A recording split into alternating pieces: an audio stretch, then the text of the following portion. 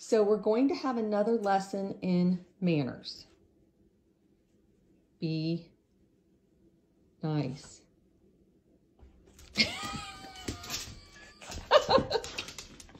that is not funny and you're not behaving. Sit. Sit.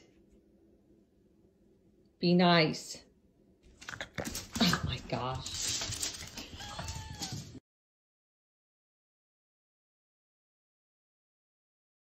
Hey there, we will be choosing a winner here in the next few hours, so stay tuned for that. I have been working on an easy DIY project that I will share with you this week. And right now I'm in the garage making some Christmas trees that I will be sharing with you too. I, I saw some ideas on Pinterest. I don't know if these are gonna turn out, but I'm gonna try. So stay tuned for that too.